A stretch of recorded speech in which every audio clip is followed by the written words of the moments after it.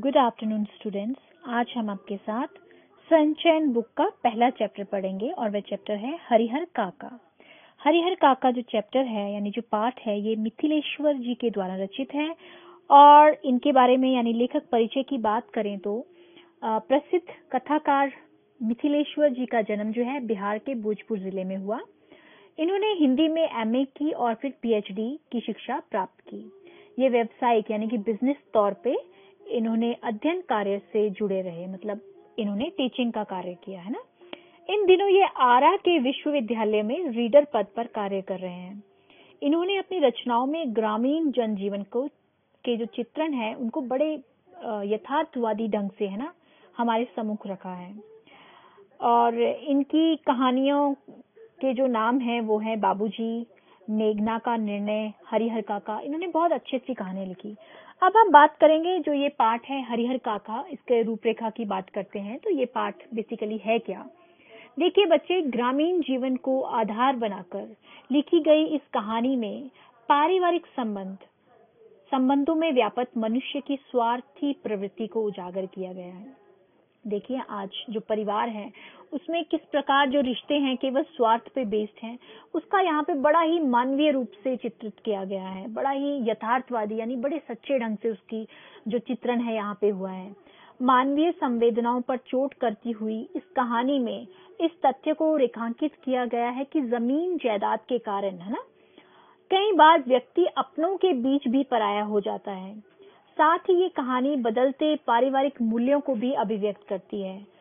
कथाकार यानी कि लेखक जो हैं, वो हरिहर काका के द्वारा उनके वृद्ध व्यक्ति की स्थिति को व्यक्त करते हैं। यानी हरिहर काका जो है, एक अधेड़ उम्र के व्यक्ति हैं, यानी वृद्ध एज ग्रुप में हैं।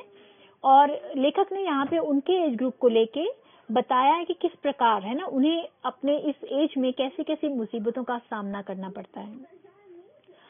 किस प्रकार एक वृद्ध व्यक्ति जो है, परिवार का प्यार और अपनापन पाने की चाह रखता है? जो उसे नहीं मिल पाता क्योंकि परिवार के जो सभी सदस्य हैं स्वार्थ के वशीभूत हो गए हैं और कोई भी बिना स्वार्थ के उसकी आ, मतलब जो वृद्ध व्यक्ति है सेवा नहीं करना चाहता।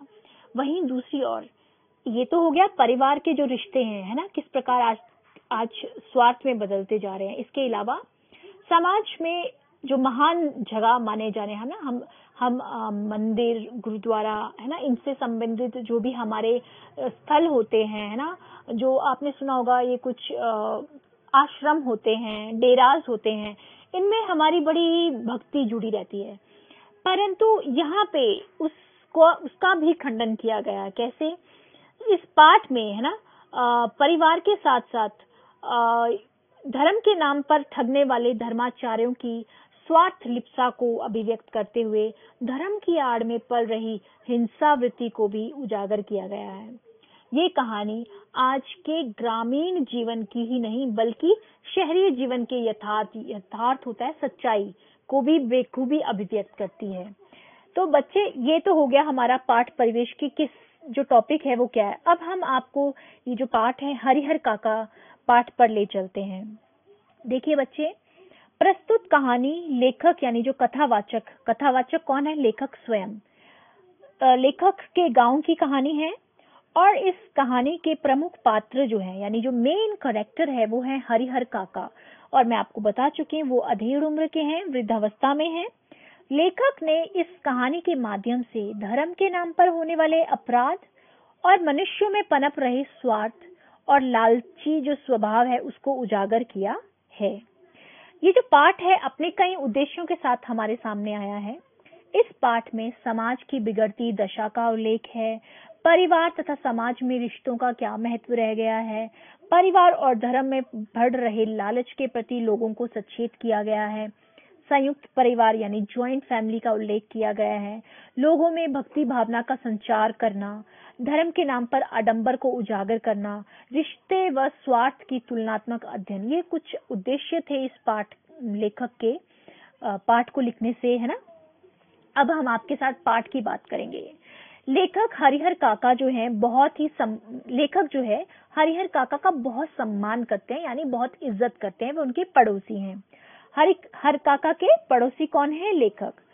एक पिता अपने बच्चे से जितना प्यार करता है, उससे भी कई ज़्यादा प्यार हरिहर काका लेखक से करते हैं। लेखक की जो पहले दोस्ती है, वो हरिहर काका से ही हुई थी। काका जो है, लेखक से कोई भी बात नहीं छुपाते। वे अपनी सारी बातें जो हैं, वो लेखक से करते हैं। लेकिन कुछ दिनों से काका ने लेखक से कोई बात नहीं की। मतलब एकदम से वो शांत हो गए हैं बातचीत करना बंद कर दी है। और वे परेशान हैं उदास हैं और दुखी से दिखते हैं। उनका आ, मतलब उन्हें कुछ उदास उदासी जो है वो लेखक जो है नोटिस करते हैं कि हरिहर काका जो है कुछ दिनों से परेशान चल रहे हैं। हरिहर काका इस स्थिति का, का जो कारण है वो जानने के लिए अब हमें उनके गाँव का परिचय आपको करवाना पड़ेगा।